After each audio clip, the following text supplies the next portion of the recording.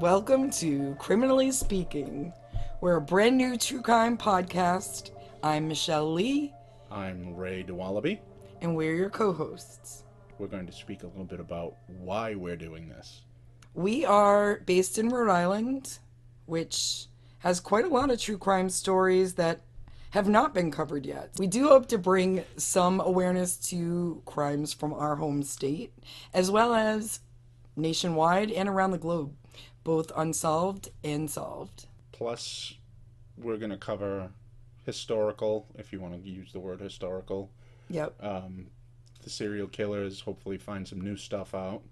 Yeah, we'll update you on any breaking crime stories that have come out in that week.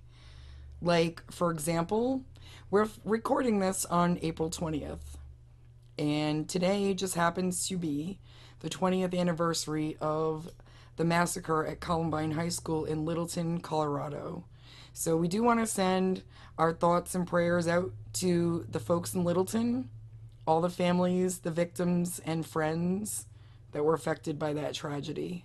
So, what we need to talk about is how we got into true crime. Events that took place and pretty much catapulted us into the darkness. Yes. So, Usually everyone has a story, so we're going to tell you ours. Michelle, go ahead. For me, um, I was a teen growing up in the 80s, kind of like Stranger Things, if you've ever seen that show.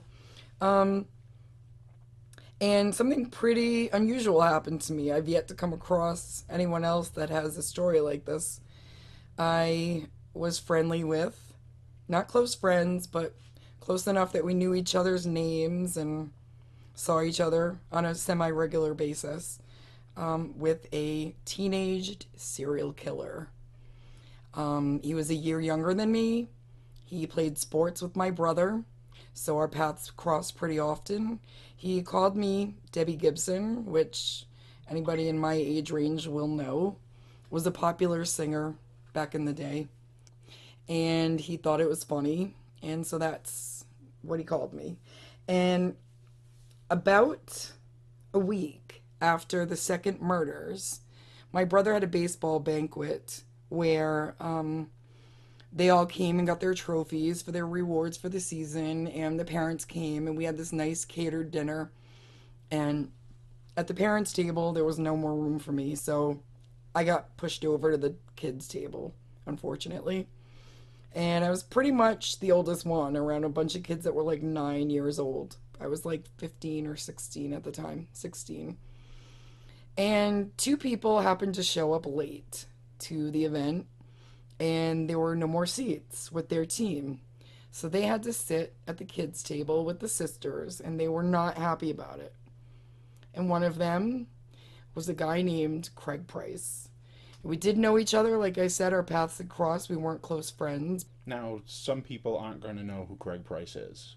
Craig Price was a 15 year old boy from Warwick, Rhode Island, where I grew up, who by the age of 15 had killed not only a 27 year old woman when he was 13 in 1987, but also a single mom and her two daughters in 1989, two years later, when he was only 15 years old. He'd already murdered four people. That back then was not something that, like, nowadays you'll hear this a lot in the news, but back then it was unheard of for a teenager to be a serial killer. So the fact that he got away with it for two years, at only 13 years old, is, um, it's pretty crazy. In fact, this was one of the first cases that I'm aware of that criminal profiling was used to try to come up with a suspect. Um, I believe it was McCrary from the FBI Behavioral Sciences Unit and Dr. Henry Lee, who ended up gaining fame in 1994 when he testified in the O.J. Simpson murder trial. So he was in my city. He was investigating the crime scene. They were trying to use forensics and behavioral sciences to try to come up with a suspect because it was clear to the police at this point that there was a serial killer on the loose. So it turned out that it was my friend. And we're going to spend episode one actually getting into the details of the story of Craig Price because a lot has happened since then. And only recently has the story come to a conclusion. So we have a lot of information for you about that. And it has a really personal connection for me, which absolutely got me interested in the psychology of people because he was the kind of person that was funny that was fun to be around. I never would have suspected him. He would have been the last person I expected would have done this. So it made me wonder if someone like him is capable of that, what about everyone else that I know? Who exactly are you standing next to in the market? Exactly. The laundromat. Yes. Who do you work with? Who do you Who- work with? Who do you Um, go on your first date with? Especially for women, women, you understand.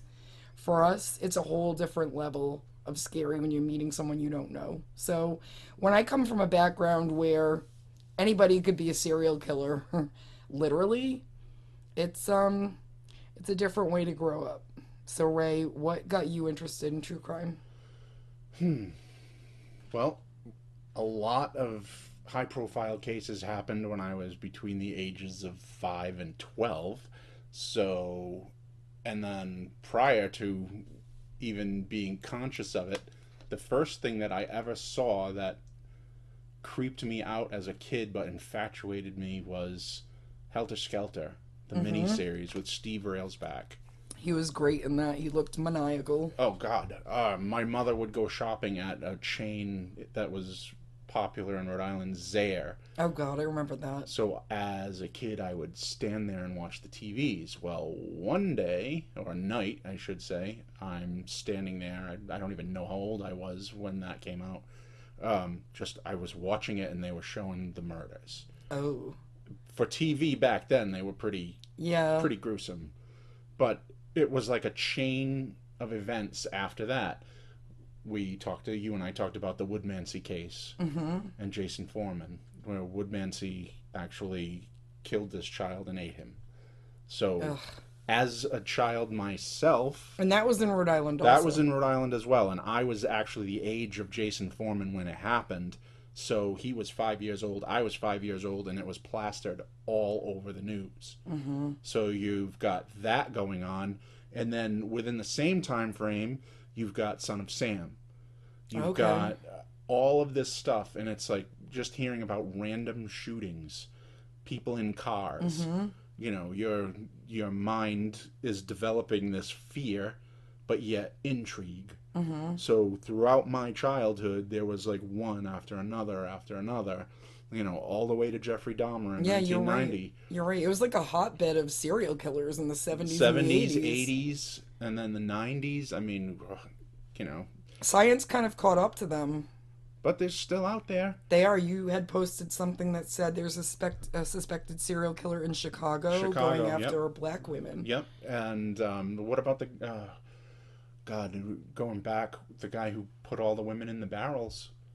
But In New Hampshire? uh, no, I forget where it was. I've got to research a little bit more. But they, it was um, bondage related. He Oh. would, the women would go to him, and he signed themselves over as the he was the master, and then he ended up just keeping them and killing them and putting them in barrels on his property. Oh my god. I, Uh, I I've mean, heard of that one. It's endless. That's why we're here. Ted Bundy. Ted Bundy. Oh. He was the, probably, aside from Craig, the first serial killer that I was really aware of, and he terrified me. Well, he was high still does. Yeah. He was all over the news, so you couldn't help but know what was going on because of his escapes. His antics. Yeah, the- He represented himself in court. After he escaped. And then, yes, and then he would question witnesses and make them describe in detail the condition the bodies were left. And people that were in the court said they noticed he was like physically aroused. Mm, It yeah, was just really gruesome. creepy.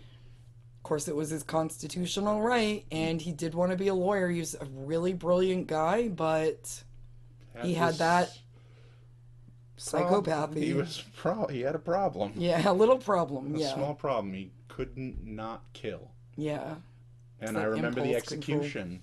Me too. I remember that, and everybody. But what was you know It was ironic was the fact the mob mentality about his execution. It kind of was like they were no better than he was. Yeah, I remember uh, news stories with people standing outside with signs, like Signs, "Fry" T-shirts, and "Fry like, Ted, burn Ted, burn." and yeah, it's it was like a a big media event back then. Um, I think a lot of that had to do with the fact that I mean, obviously, all he had lots of victims that were women, and he was really brazen about it. But that what I think his final victim was a 12 year old girl named Kimberly Leach in Florida. and that's what that's what did him in. Yes, when you cross into the children, it's Well, a whole different ballgame. Also, Florida is death penalty row. Right. So it's like if you commit a murder in Florida, you are going to the electric chair. And he had to know that. He just had no impulse control. He just could not handle being around women. And as long as he was on the loose, he was going to kill them. Did you happen to see the um, Bundy tapes? Yes. I think it was on Netflix. Oh yes, Yeah, that was pretty fascinating that was awesome.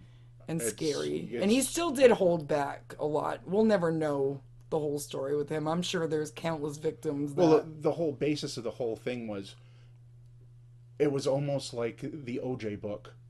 What if I did it? yes. And that's how they got him to talk. Right. They got him to talk and say, all right, hypothetically, Ted, Right. If you were to do this, not saying that you did, but if you were to, what would you do? Ugh. And that's just basically, but he loved to, to talk about himself. And what they said was, I remember the guy who interviewed him said he picked up the tape recorder and cradled it. really? He cradled I it. I don't remember that part. Yeah, he cradled it to himself when he was talking. Mm-hmm. So it was like he, he was finally able to talk about it without talking about it. They say that about BTK too, um, which What we're talking about now is the BTK. yes, the BTK killer in Wichita, Kansas. Um, did you happen to watch when they caught him when he was in court? I did. I uh, I'm going back on memory, which now at my age is starting to be painful. But um, he was just so arrogant. And he was also very excited to talk about the details of his crimes for the first time openly. But and that's why uh, they finally get caught. They're proud of what they've done. Yes. So well, they're they- proud all along, and they. I feel like a lot of their rage comes from the fact that they can't brag about it because they want that credit, but they know they can't because if they do, it's their freedom. Well, that's why they keep doing it to be in the news. Yep. So it's like the more they see it on the news, the more credit they're getting. It's just, and then the, I mean, it's typical. You see them in the movies how they're talking to the screen when they're, Mm-hmm. you know, because they're like, oh, you got that wrong, and it's like, uh, this guy is. His daughter has come out on the record and said that he did follow the case. So I mean, this he did this. They get off on that. They watch it right out in the open, and no one knows their secret. So uh, it's a really twisted mind that's capable of this. And at one point, all the profiles sounded similar. They all said like a loner, not able to form close bonds. And we've since come to learn that that's not true. Like BTK, for example, was married and had two children at the time of his arrest and at the time of the murders. So that entire 30 plus year span, he was raising a family. He was installing alarms in people's houses who were trying to keep BTK out. He was he was a pillar in the community. He Yep. was He was he a was dog catcher. He was which was law enforcement. To him. yes. He thought he was law enforcement. Um, Yep.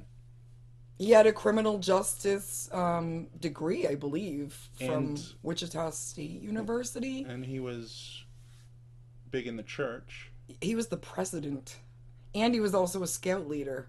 Like on paper, this is someone you would trust your kids with without question. And that goes to the I was telling you about the movie The Clovehitch Killer. yes. Completely based on him, but not about him. Okay. So uh, I haven't watched it yet, but I do. I do it, want you to. will absolutely know.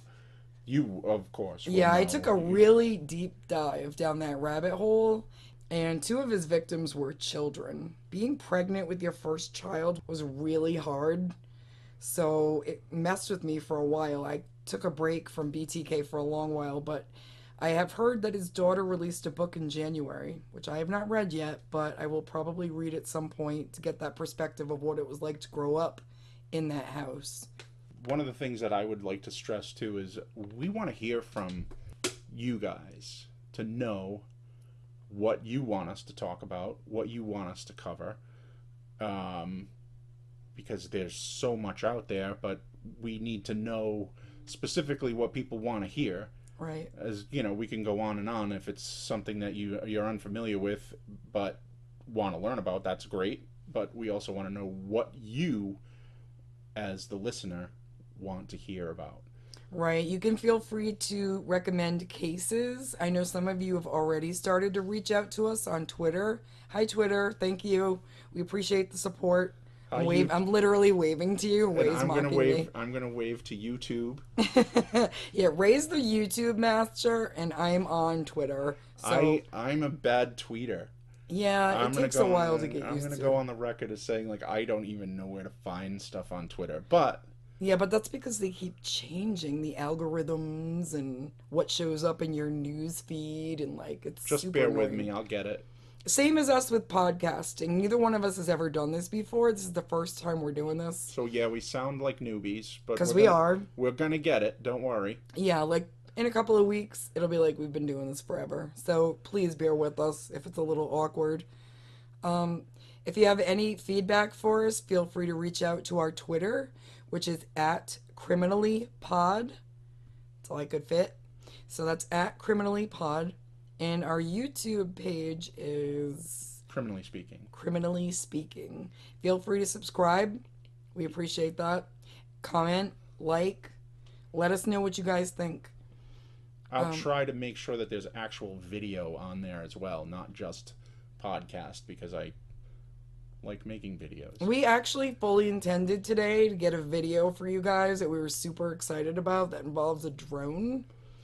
But because it is quite literally a dark and stormy night as we record this podcast, it was not feasible today. So we're going to reschedule that soon, Also, we have an email address, which is criminally speaking At- at gmail.com. So feel free to contact us there. Again, we're always looking for feedback, any cases. The true crime is the genre, but if there's like missing persons, if there's anything in true crime that you want to know about, let us know.